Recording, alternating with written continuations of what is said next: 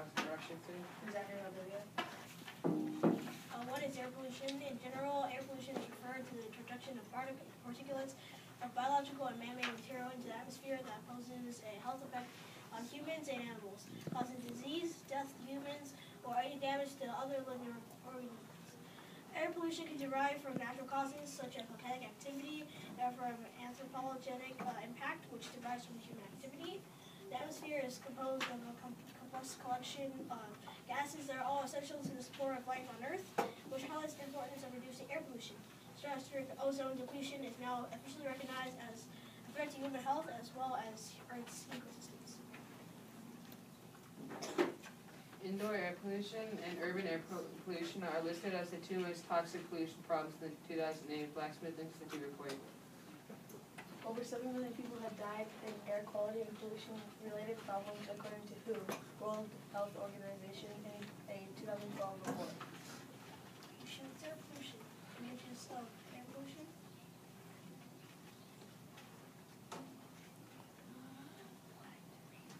Um, you want me to read this one? Yeah. Silver oxide, um, a chemi- it's a chemical compound with a, um, formula SO2.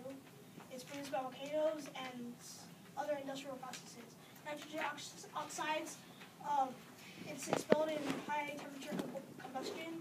Carbon monoxide, yes, it can kill you.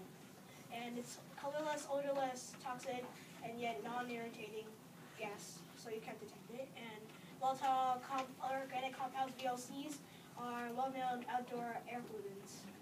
So, and particulates, it's just bits like volcanic parts.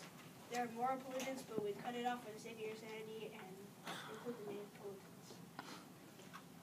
Cancer. A review of ev- evidence regarding either ambition or air pollution exposed risk factor of cancer found found solid data to conclude the long-term exposure to M- PM 2.5 500 increases the overall this, just risk. skip this, just skip this. So, pollution can cause cancer, lung cancer, and harm children. You should read It's fine, just, it's more. I need to know about the children. Fine, no, not the children, okay? No, it's not the children. The United States, despite the passengers, passage of Clean Air Act in 1970 and 2002, at least 146 Americans, 146 million Americans were living in non-attainment areas, regions in which the concentration of certain pollutants, exceed the federal standards. These standard pollutants are known as the Criteria pollutants. criteria pollutants include ozone, particulate matter, sulfur dioxide, nitrogen, ni- nitrogen dioxide, carbon monoxide, and lead.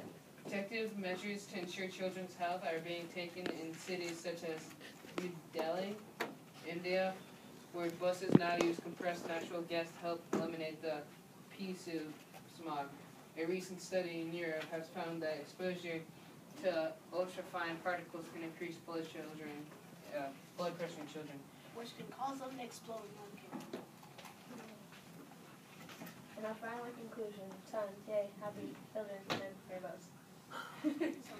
Air pollution poses, poses a serious health threat and has an imminent effect on the pollution of Population.